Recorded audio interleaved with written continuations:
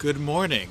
Uh, we're glad that you're with us this morning. My name is Pastor Steve. This is Grove Church. We're a church centered in North Bergen, New Jersey, but uh, obviously online we have people all over, and we're glad that you're part of our family this morning. We're going to worship God in singing. We're going to have a look at the book of Exodus, learn about uh, the freedom that God brings and what does that mean, and some challenges with that. Also, we have a message for the kids and some uh, questions to process it all together. So thank you so much for joining Grove Church.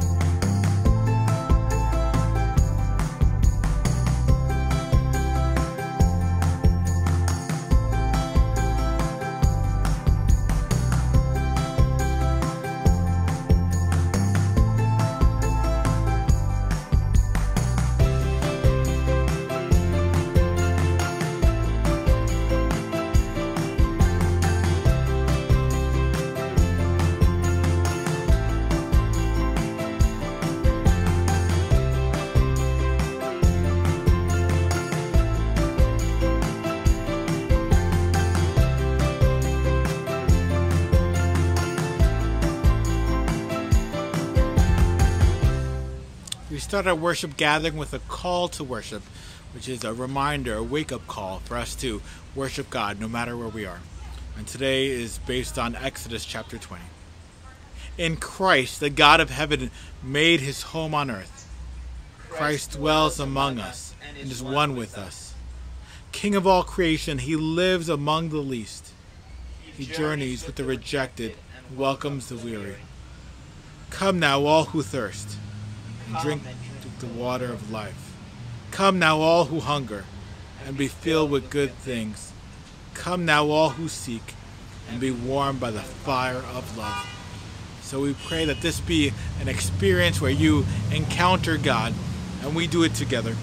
As we come before God, we remember in the burning bush that God asked Moses to take off his shoes because it was holy ground. We come realizing that we, in some ways, have to change our posture we come to confess our sins to God and seek His forgiveness. So I'm going to lead us in this time of prayer and leave some silence for us to prepare our hearts before Him. The letter from the Hebrews urges us to keep on loving one another as brothers and sisters. Do not forget to show hospitality to strangers, for by doing so, some people have shown hospitalities to angels without even knowing it. Continue the scripture says, continue to remember those in prison as if you were together with them in prison, and those who are mistreated as if you yourselves were suffering. Marriage should be honored by all, and all the marriage bed kept pure, for God will judge the adulterer and all the sexually immoral. Keep your lives free from the love of money, and be content with what you have, because God said, Never will I leave you, never will I forsake you. So during this moment of silence, let us together seek God's forgiveness as we confess our sins to God. Let us pray silently.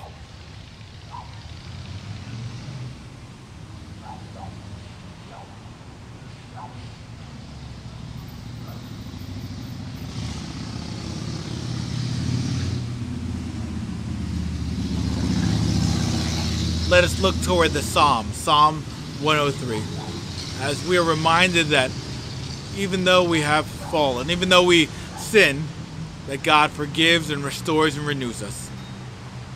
The Lord works vindication and justice for all who are oppressed. He made known his ways to Moses, his acts to the people of Israel. The Lord is merciful and gracious, slow to anger and abounding in steadfast love. He will not always accuse, nor will he keep his anger forever. He does not deal according to our sins nor repay us according to our iniquities. For as the heavens are high above the earth, so great is his steadfast love to those who fear him. As far as the east is from the west, so far he removes our transgressions from us. As a father has compassion for his children, so the Lord has compassion for those who fear him. For he knows how we were made. He remembers that we are dust. As for mortals, their days are like grass. They flourish like a flower of the field, for the wind passes over it, and it is gone, and its place knows it no more. but the steadfast love of the Lord is from everlasting to everlasting on those who fear him, and his righteousness to children's children, to those who keep his covenant and remember his commandments. Thanks be to God. As God has given us peace through Christ, so let's sign of peace of Christ to one another. The peace of Christ be with you all. And also with you. Online in the comment section, show signs of Christ's peace, his welcome, and his greeting. We're so glad you're here. Peace be with you.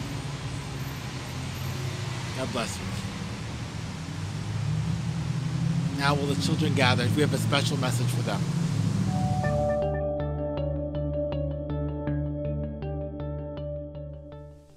Hey kids, it's Pastor Steve. I'm back in the Kidmin room and uh, I found something. Not in this room, I found I was upstairs and opened a drawer and found a bunch of these. Do you know what this is? Do you know what it's used for? Well, for those of you who are not sure, this is a cassette. So we had this before uh, CDs, and which are way before MP3s or whatever you listen to music on. So Grove Church, before we had uh, our services on YouTube and Facebook, uh, we recorded these on these cassettes. I'm looking here and it says uh, this is from March 1975.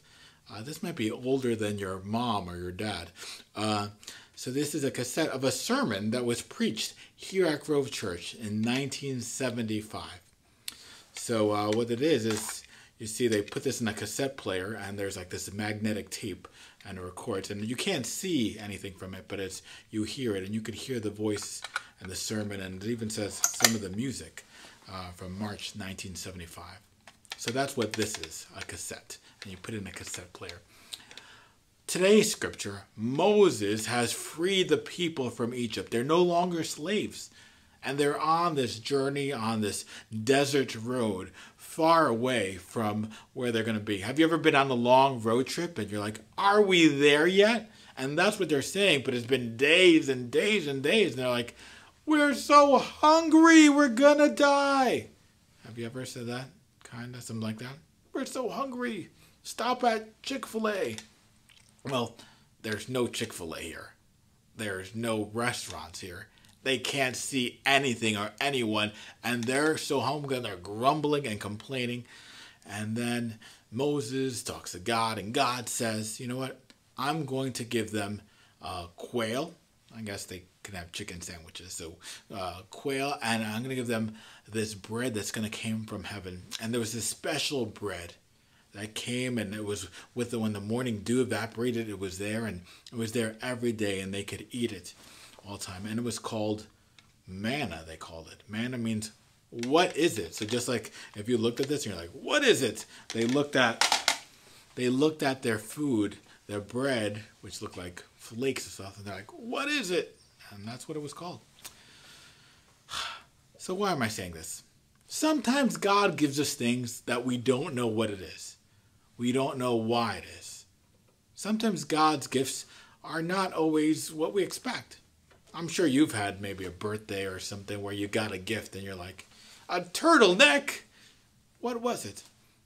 But God's gifts are always good, even if we don't understand why or how. God is a good gift giver and He gives us what He need. He gave the Israelites what they need bread and meat. He gives you what you need. You might not know what it is or how it fits. You might not even be aware that the good gifts that God is giving you, and you might not even think about it.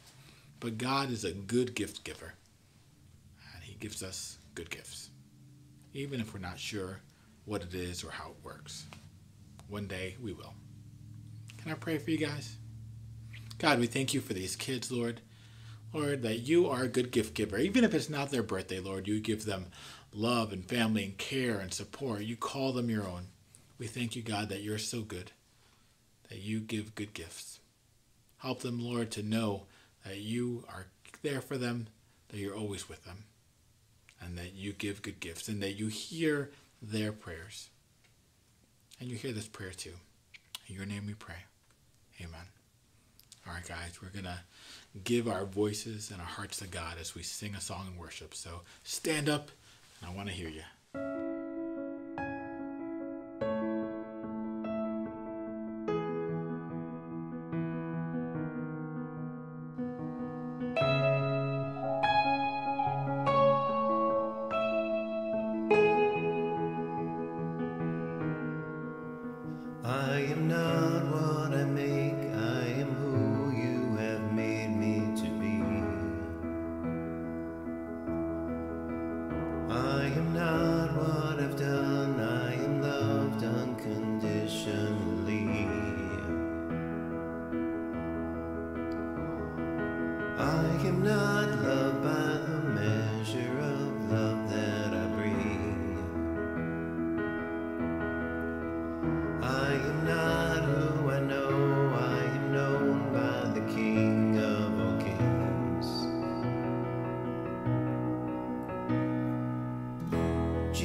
Jesus,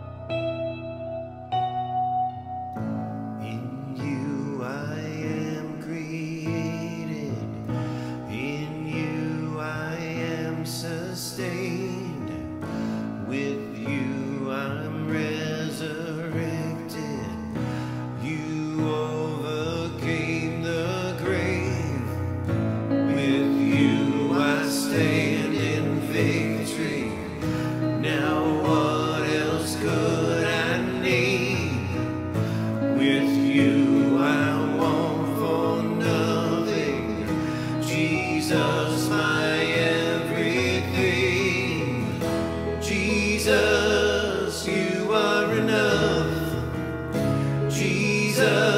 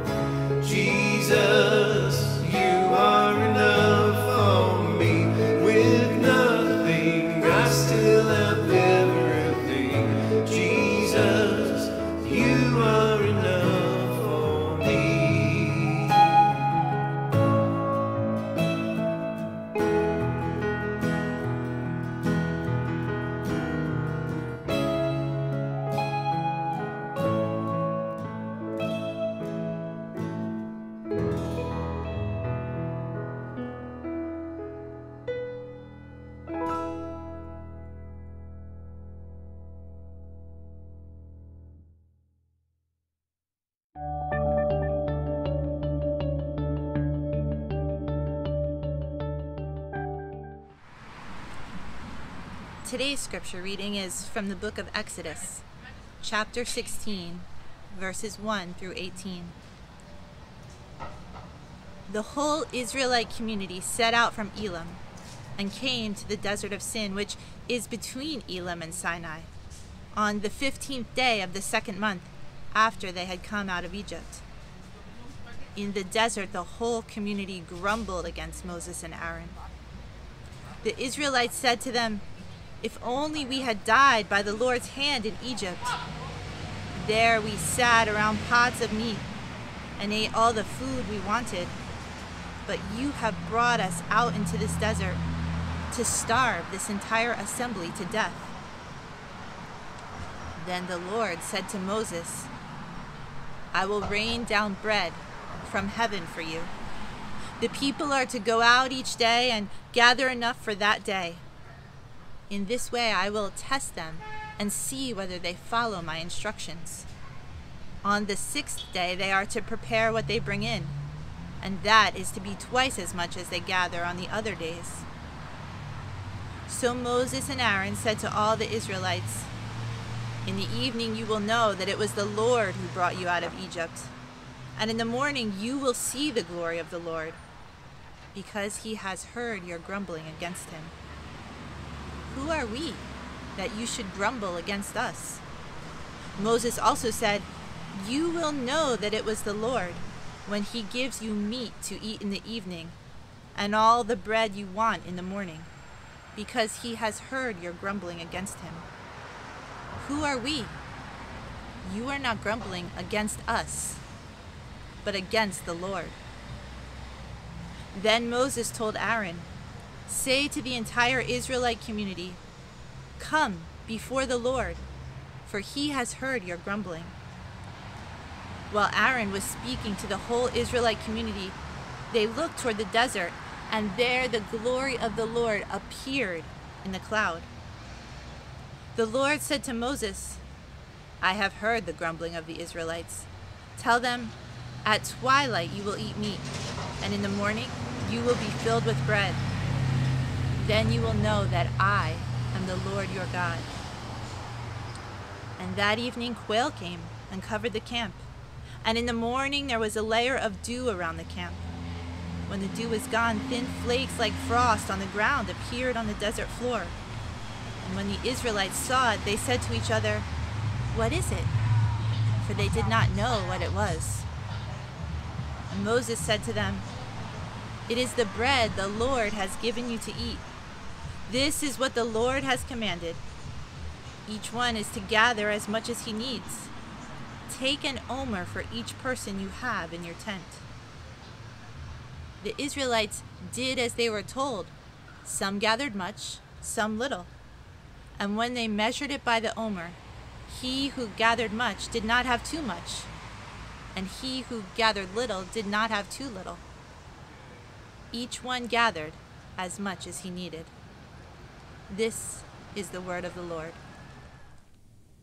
Last week we were uh, looking at the scripture where Moses was uh, approached by God in the burning bush, and he was going to liberate God's people. Uh, before uh, what has happened since then, from now, uh, Moses was obedient, went there. There were the 10 plagues, as you probably have heard at one time or another. And Pharaoh let go God's people uh, and changed his mind as they were uh, being chased and pursued. There was the, the Red Sea, and God miraculously opened the Red Sea, and God's people crossed. But here we are. They're not yet at the promised land that God told them He was going to bring them to. They're not yet at the place uh, with milk and honey and all God's goodness. They're in the desert. They're somewhere in between the bondage of Egypt and the, and the promised land that is ahead of them. And they're discouraged. These uh, refugees are in a discouraging place, not yet uh, embracing and seeing the goodness of, that they were walking towards. So they're hungry, they're thirsty, they're in this desert wilderness place. And they're actually looking back to their captivity in Egypt with rose colored glasses.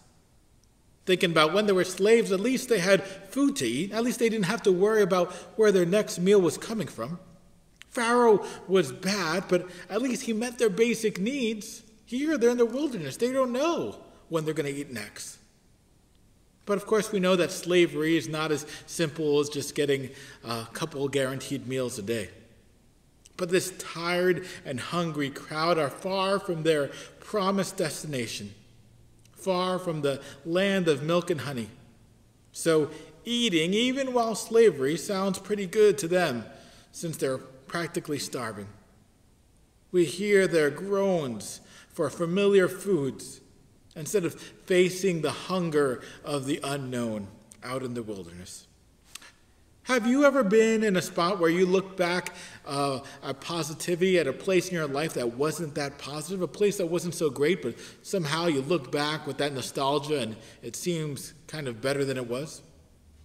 Maybe you look back to your life before Christ before you became a believer. And you're having a tough time now. Maybe you're having a tough time in your faith, a tough time in life. You know, things seemed so much easier back then when I used to party and just uh, not worry about pleasing God, when I lived in that self centered season of life. Maybe it was less complicated seeming now that you're uh, in this difficult season of life. Perhaps those years seem uh, easier more carefree, maybe more exciting than the challenges you face now as someone who is following Christ. in some ways, it's, we can frame our past in the same way these Israelites did. To think of how great it was to live back in the bondage of sin compared to being on this Christian journey where you have not reached the destination, right? We talk about uh, the intimacy with God, and we talk about the promise of heaven and every tear being wiped away, and the new heaven and new earth, and we're not there. We're somewhere in the middle. We haven't fully inherited the fruits of the kingdom of God, and, and you may be stuck in a wilderness moment when living for God is not all fried quail sandwiches. Following Jesus is beautiful and good and true, but it's not always easy. Maybe you're just looking at the past fondly and wondering, why does God have you today in this challenging season of life? Why are things so difficult? When things may have seemed easier back in your memory. Maybe you're looking at the past and saying, Why am I dealing with this today? Not too long ago, I was yearning and, and thinking so beautifully of 2019. Do you remember that time? When things were so easy and carefree, when gatherings wasn't so complicated, where hanging out with people uh, was easy to do, when uh, our kids' ministry could go around seamlessly and was growing every year. Before we had to remember to bring a mask somewhere, or where you wouldn't freak out if your child has a fever or your neighbor has a cough. We can call those the good old, day, good old days. And instead of being content where we are, we can just hope to the future or look back fondly to the past that may have not been that great. But the future is long in coming. When will things get better? When will we be out of these deserts and wildernesses? We can't travel time, but we try to manipulate it all we can. We scroll on social media or binge TV shows to try to make time pass by to avoid the uncomfortness of the present. But at the same time, we don't want to go to bed too early, right? Because once we go to bed, then we have the whole uh, challenges of the next day just awaiting us.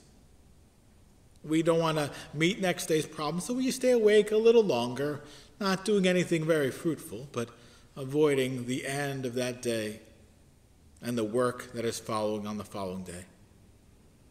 We're tempted to look back to two years ago or maybe two decades ago to find our happy place, even when we're honest and even if we're to reflect more, those times perhaps may not be as happy as we remember them to be. In this scripture, the Israelites are hungry, they're thirsty. And they're remembering fondly their time in enslavement when they were mistreated, when they were oppressed and abused. But they knew where their food and water came from. They knew when dinner time was and what would be before them. They preferred the security of knowing where their next, next meal was coming from. Instead of being free in the wilderness and trusting God and not knowing what was next. God delivered them, remember to this point, God delivered them from Egypt led them through the Red Sea with supernatural power.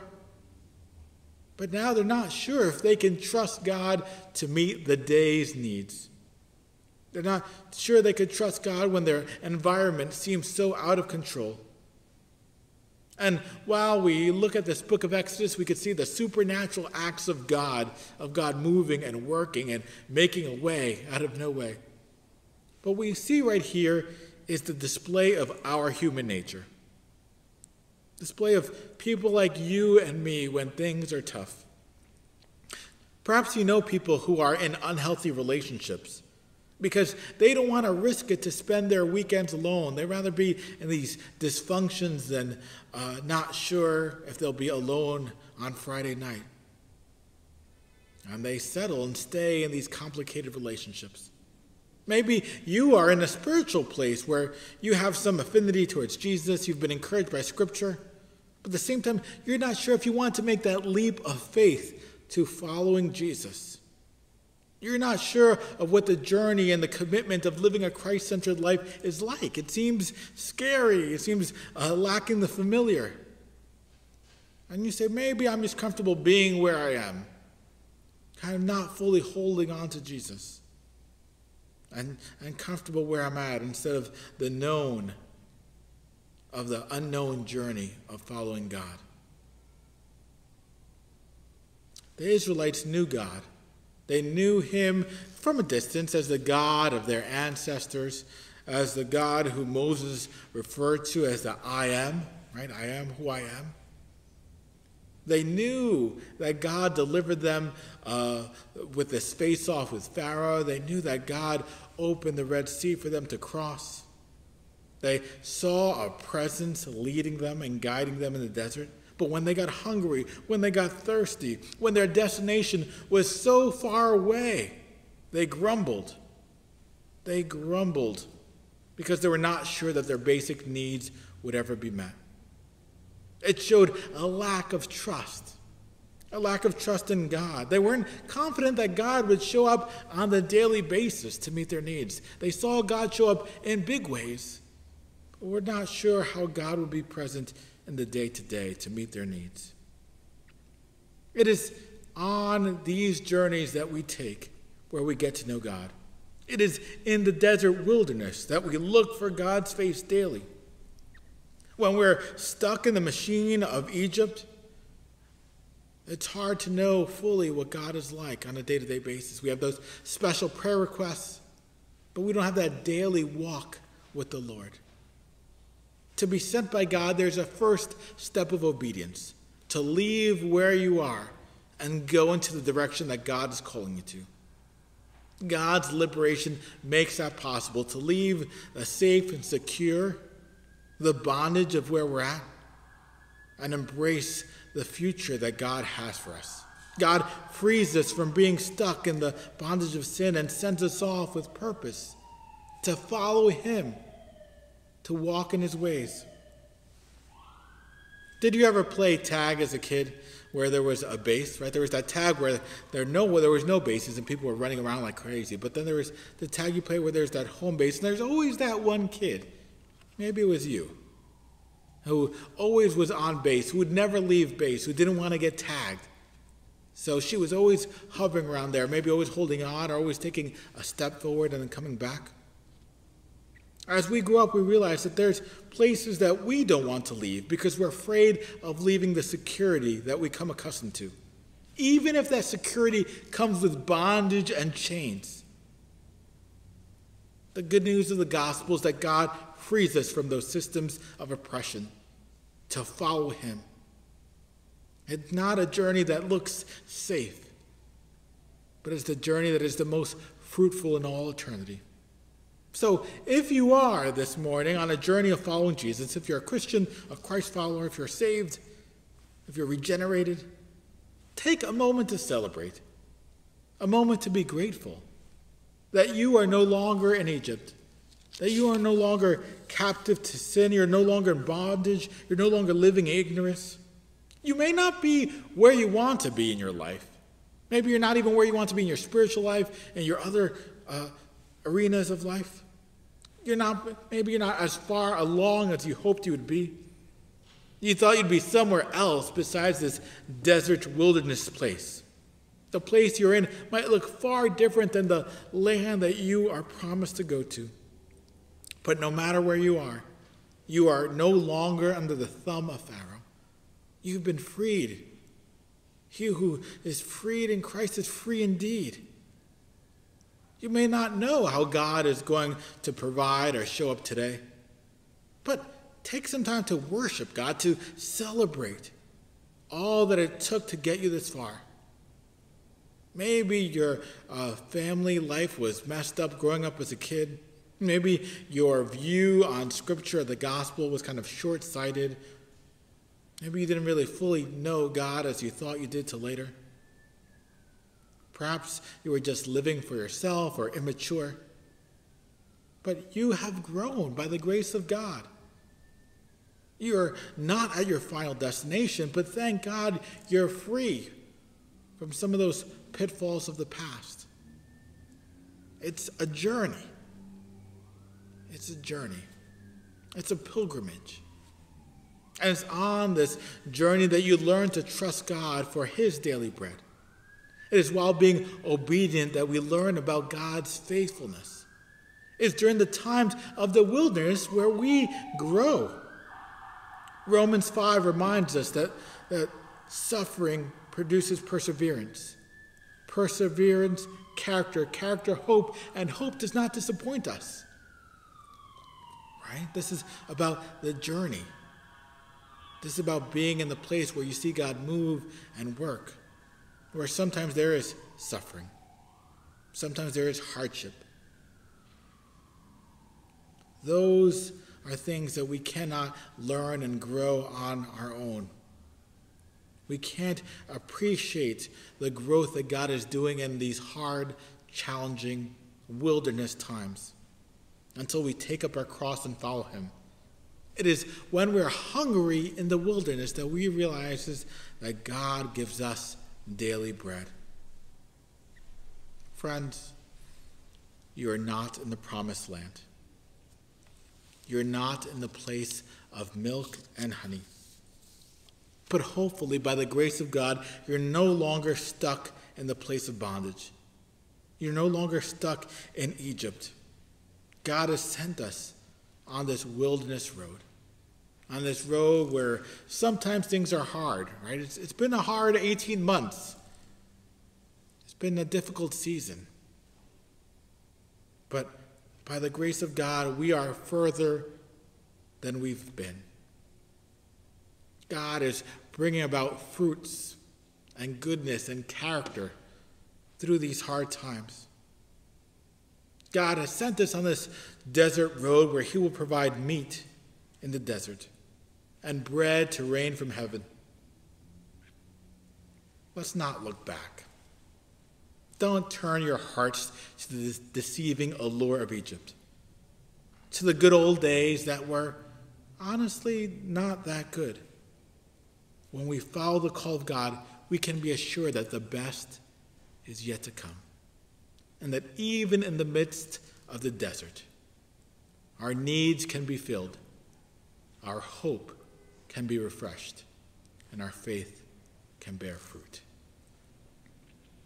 Let us come before this God who brings bread from heaven. And let us pray. Not grumble, not groan, but let us come before our Father in heaven and ask as his adopted children. Gracious God,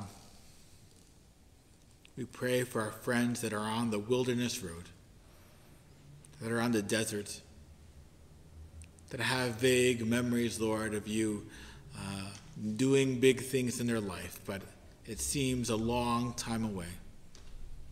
Lord, we pray that you give them strength for the daily journey. We pray for those needs, Lord, that are uh, gnawing at them, Lord, that they may know you, Lord, that you are the one who rain meat, who provide bread, who set a table before our enemies, who leads us to green pastures. who guides us to still waters, and will one day gather us all up in the promised land. We pray for those who are dealing with hardships and struggles. Pray for those who are sick, who are hurting, who are hungry. Lord, we pray for those people who are afraid of taking their next step with you, Lord, that they may be assured, God, that you are the one who calls, you're the one who sends, and you're the one who answers. May our friends at home know that you're with them, that you're good. Lord, we pray for our world. We pray for our nation. We pray for our community. We pray that your will and your work may be done in this wilderness time. We pray this in the name of Jesus Christ, your Son, who taught us to pray. Our Father, who art in heaven, hallowed be thy name. Thy kingdom come, thy will be done, on earth as it is in heaven. Give us this day our daily bread, and forgive us our debts, as we forgive our debtors. And lead us not into temptation, but deliver us from evil. For thine is the kingdom, the power, and the glory forever. Amen.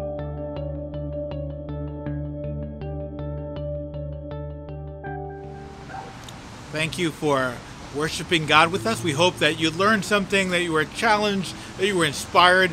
Let us know in the comments or send us a message or email uh, about what has spoken to you and how we can pray for you and partner with you and be part of what God is doing in your life. Uh, one of the ways that uh, people respond, if this is your your congregation, if this is your church, we'd love it if you uh, worship God by giving to your local church. Uh, helps us to minister to others and continue this ministry. And also, if you give through benevolence, it helps us to partner with our local uh, food pantries and uh, domestic violence shelters and missionaries in Cambodia and New Mexico and uh, on campus ministry. So thank you for giving. Thank you for partnering with us and helping us to be a radically generous church to others. Um, our website is down, but you can go to forhudsoncounty.com and find ways you could connect on social media and ways you could give uh, right there. Uh, before we have another song of worship, um, I want to let you know that we have some reflection questions as you wrestle and pray out together. Receive this blessing. May God bless you and keep you. May his face shine upon you and be gracious to you, now and always. Amen.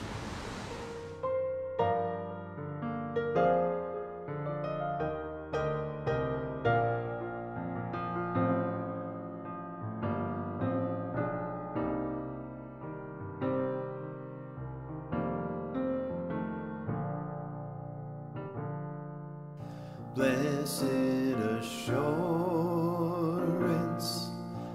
Jesus is mine.